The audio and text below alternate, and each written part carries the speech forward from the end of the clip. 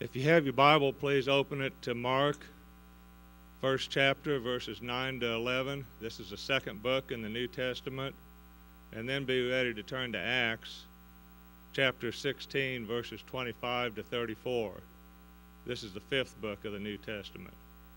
I'll be reading from the New International Version. The first passage is um, about Jesus' ministry when he was first baptized.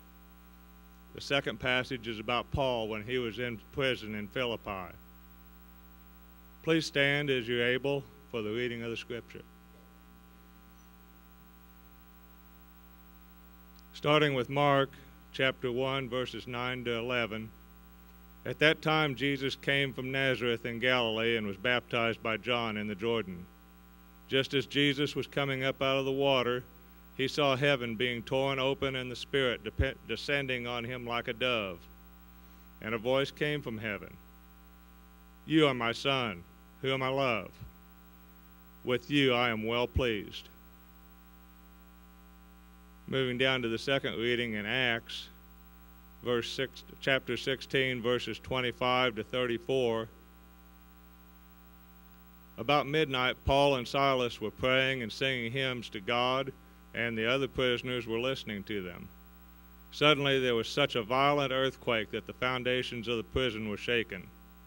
At once all the prison doors flew open and everyone's chains came loose. The jailer woke up, and when he saw the prison doors were open, he drew his sword and was about to kill himself because he thought the prisoners had escaped. But Paul shouted, Don't harm yourself. We are all here.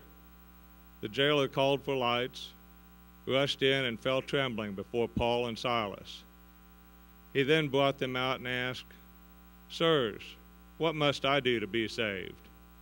They replied, Believe in the Lord Jesus, and you will be saved, you and your whole household. Then they spoke the word of the Lord to him and to all the others in his house. At that hour of the night, the jailer took them and washed their wounds. Then immediately he and all his household were baptized. The jailer brought them to his house and set a meal before them. He was filled with joy because he had come to believe in God and his whole household. May God add his blessing to the reading of his holy word. Amen.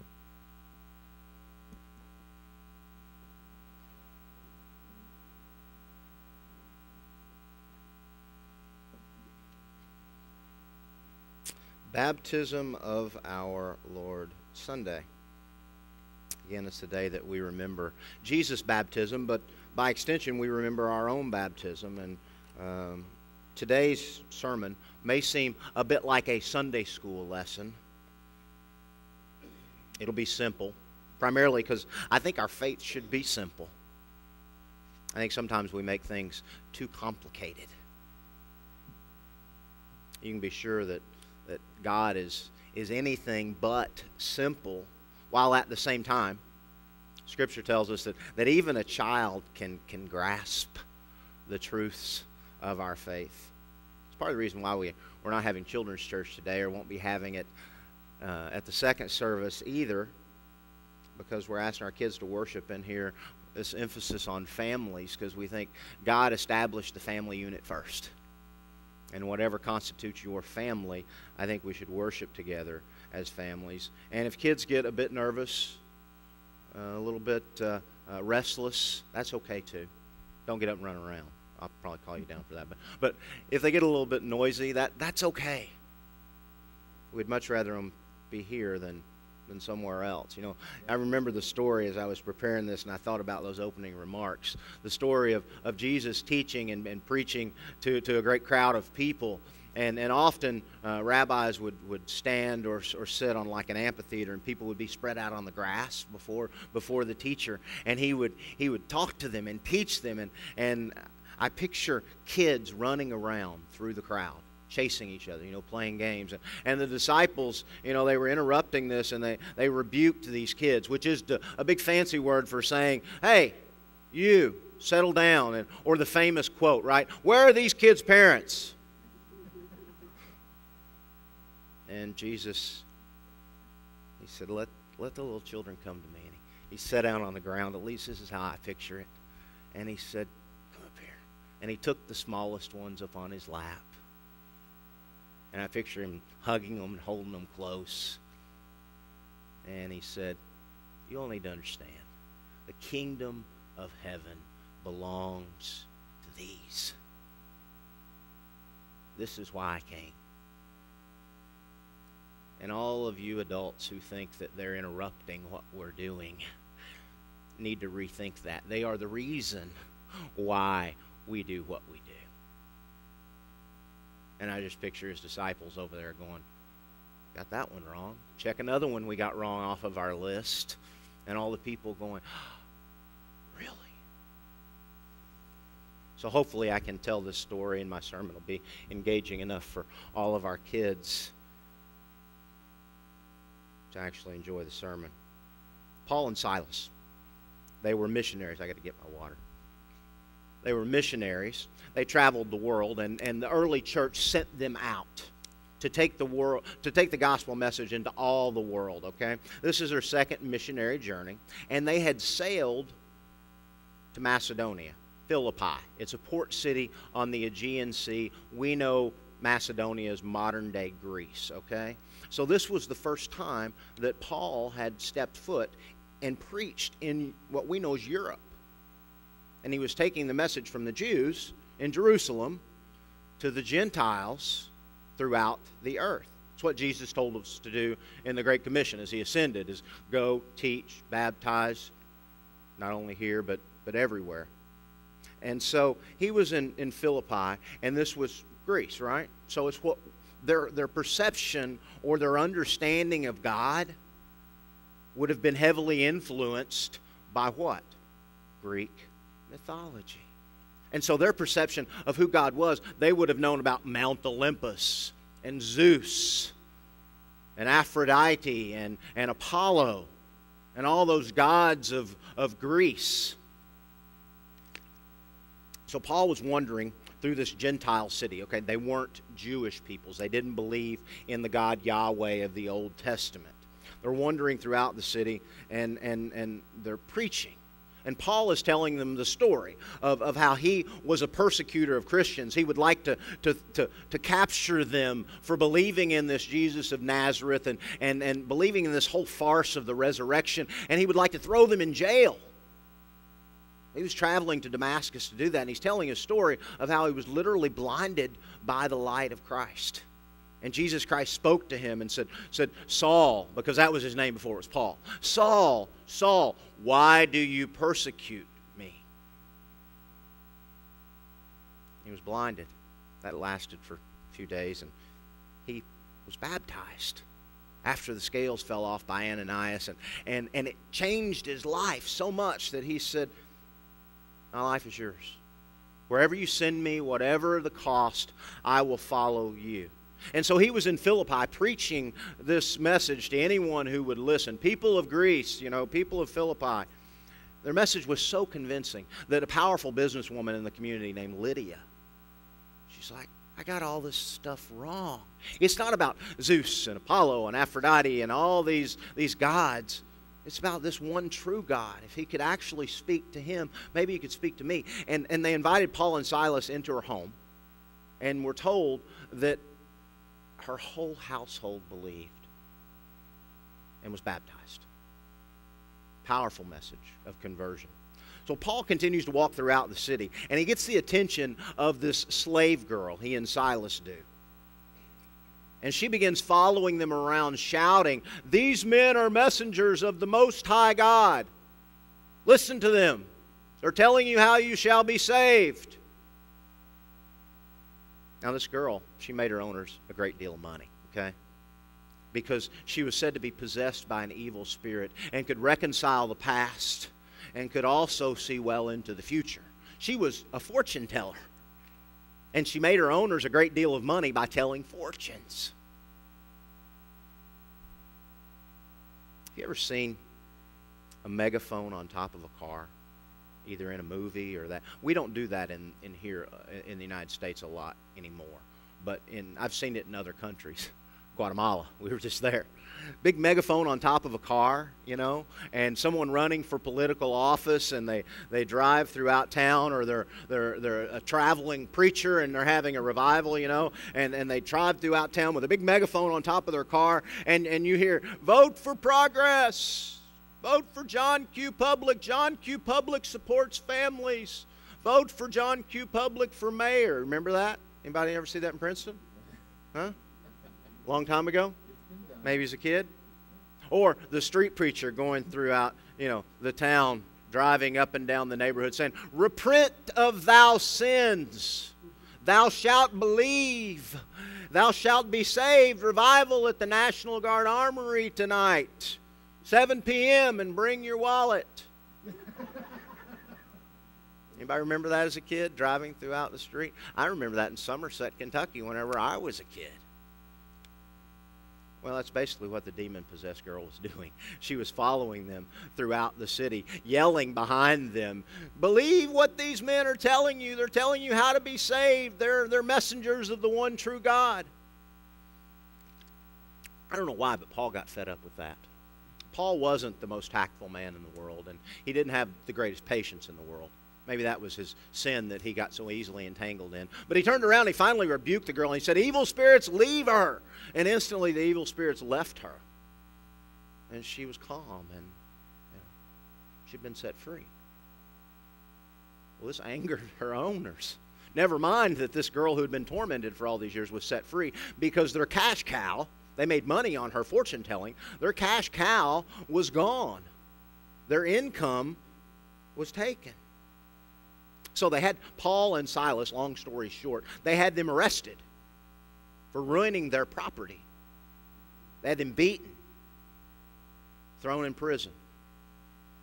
So Paul and Silas were chained and put in the inner part of the jail.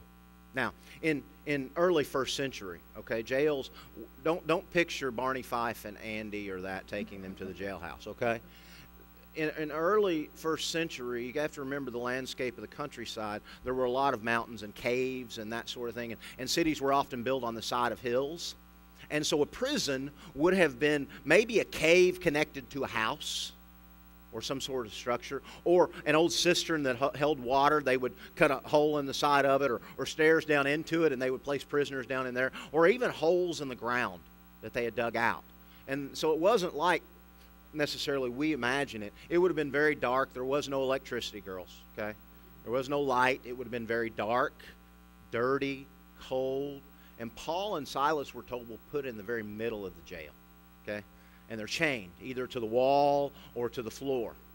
Well, Paul and Silas, they saw this as an opportunity to thank God for their good fortune that now they had a captive audience. All of the prisoners in the jail now had to listen to them preach.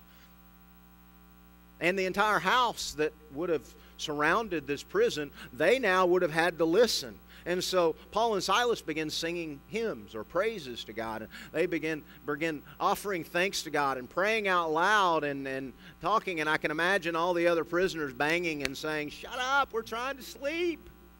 And they kept singing. Well, there was a large earthquake because this, this area of the world is subject to earthquakes. There was an earthquake, and, and, and it, we're told that the doors flung open and the chains fell off. Rather than leave, Paul and Silas stayed. Because, see, they had already been set free, and they didn't need an open jail door to give them their freedom because they found that their freedom came from God. So, they continued to sing praises to God. Well, the jailer, his responsibility was to keep these prisoners in jail, all right? And if they escaped, he would pay with his life. Penalty for not doing his job. So he drew his sword and was going to fall on it because he would much rather it be a graceful death, quick and easy, than what the Roman guards would probably do to him. And so, just as he was getting ready to do that, Paul and Silas said, Hey, wait, wait, wait, wait, wait, we're still here. We're all here. As a matter of fact, do you want to come on in and sing with us? This just astounded the jailer, and, and I picture him running in and throwing himself at their feet and saying, I want to know this God too. How can I know this God? And they told him. Picture Paul telling him just his basic story how Jesus spoke to him and told him, even a sinner like you, an evil man who, who hurts people, God wants you to. And the jailer had to think, well, I kind of hurt people too, and, and if God can save him, he can save me. And so it says the jailer believed, and, and, and then everyone in his entire household believed. Everyone. Translation They had church in this jail in the middle of the night. And the message was so compelling, the worship was so moving that we're told that everyone in the household believed and was baptized. Now, maybe I'm a realist, okay? But I seem to think that entire household or everyone in this particular instance means everyone in the entire household, which would have consisted of wife or wives, would have consisted of children, servants, slaves, even the families of slaves were known to live under one household. And the jailer would have been a pretty powerful man, so he would have had a large household. Everyone in the household believed and were baptized. How were they baptized? I don't know. We're not told that they went down to the local creek or river or ocean. We're not told that they went out back to a creek and they were all immersed in the water. We're just told they were baptized. And I, I picture Paul, after his wounds were washed and cleansed, saying, Bring me a big tub of water with a pitcher, and we're going to baptize everybody in the house so that this house is marked by God and for God. That's what I picture anyway. Today, we celebrate God's goodness. We celebrate God. We celebrate grace being poured out upon us. And we remember. We remember our baptism. We remember what it means. What do we remember? Okay? The vows that we took or the vows that were taken for us. Do you repent of your sin? Meaning, do you want to make sure that whatever's in your heart or on your mind that separates you from God, you repent of that. Don't want to do that anymore. Do you believe that, that Jesus Christ was crucified, died, was buried, and raised so that he could raise you to eternal life? Do you believe in the, the Bible, the Holy Scriptures? and that the Old and New Testament contain all that is necessary for salvation, forgiveness of sins. Which coincidentally, those of us reading the Old Testament don't miss. The whole Bible is about Jesus. Even though he didn't come to the New Testament, the entire Bible points to a Messiah. Lastly, it's important to remember as we remember our baptism that whether we were an infant, a child, an adult, a young adult, that we all bring the same thing to the waters of baptism. Nothing. Nothing. We bring nothing to God but a heart that has the ability to be very, very wicked and sinful and hateful, but also has the ability to be very, very holy and pure.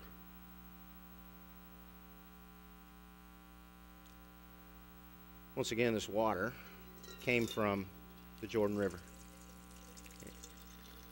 And so if there's a little bit of sediment in the bottom, I apologize.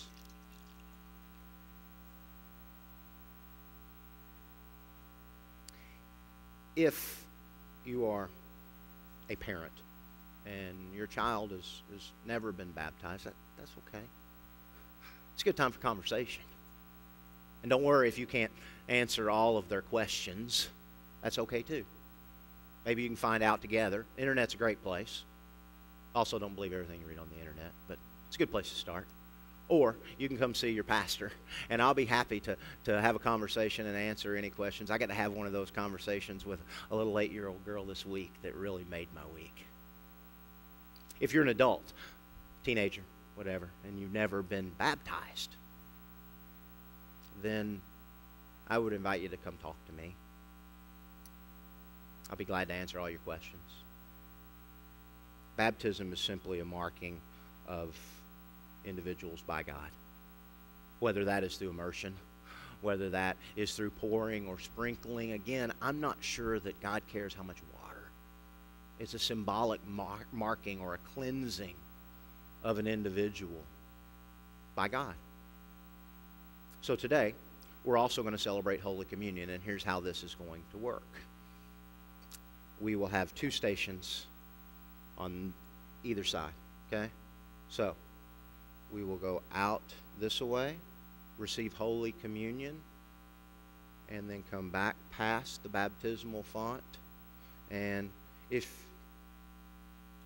you so choose to remember your baptism with water, you can just kind of dip your fingers in it touch your forehead, make the sign of a cross, touch your face. But remember your baptism and be thankful that God would, would choose to pour out His grace upon people like us. Now, Holy Communion also, um, you don't need to be a member of this church or any church to participate. Jesus Christ said, Let the little children come to me. That's why we include them in, in baptism and talk about baptism. And even if they haven't been baptized, invite them to, to touch the water and, and feel the water. That's why we invite kids to participate in, in Holy Communion, even if they don't understand it all. That's okay. Heck, half the time I don't understand it all. On the night before he freely gave himself up for us, Jesus sat around a, uh, a table and He was having a conversation with his disciples. He was going to be leaving them. And he took a simple loaf of bread. I'm guessing it wasn't like this, but he, he broke it. He gave thanks to God. And he said, this, this represents my body. It'll be broken for you, and I freely give it. Take and, and eat. As often as you do this, remember this is the bread of life. I am the bread of life. Remember how much you mean to me and how much you mean to God. And then when the supper was over, Scripture tells us that he, he took a cup. I'm guessing it wasn't as pretty as this one. They were simple people. Cup containing wine, which was the drink of the day, the fruit of the vine. And he looked at his disciples and he, and he gave thanks to God. And he said, This cup, this juice, this wine represents my blood, which will be poured out for the forgiveness of sins, for many, for everyone. Take and, and drink, and as often as you do this, do it in remembrance of me. Now, all of them were Jews, and they knew temple sacrifices required the shedding of innocent blood of animals to offer up to God as a penance for their sins. And Jesus Christ was saying, I am this sacrifice. My body will be broken, my blood will be shed, and you don't ever need to make a sacrifice again. I am that sacrifice. Take and drink. As often as you do this, do it in remembrance. Let's pray. Heavenly Father, we pray that you would pour out your Holy Spirit on these simple gifts of, of bread and juice that as we remember your sacrifice, as we remember your teaching,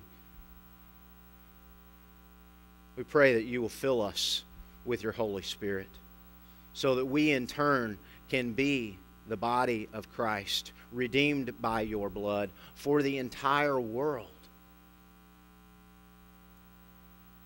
Join us in this holy moment as we remember our baptism, as we remember your sacrifice, as we are thankful that you, our God, would pour out your grace upon us and make us holy. Pray this in the name of our Savior Jesus Christ. Amen. You all who are going to be assisting today, please come forward and our musicians come up here as well. Sometimes I neglect to remember to serve the mu- musicians. Also, we're going to have some baskets and some individual cups at each serving station. I know some of you all have said to me, you know, it's cold and flu season. I'm not sure that I want to be taking a hunk of bread off of a place where everybody else is and, and not sure that I want to dip that in the common cup. That's okay. I think God will bless it and protect us. But if you're one of those people that it concerns you or you've been sick, we're going to have individually cubed bread and individual cups at the serving station. So as you get up to come through the line, just drop by there, pick up your cube, take your juice, and then you can make your way through the baptismal font.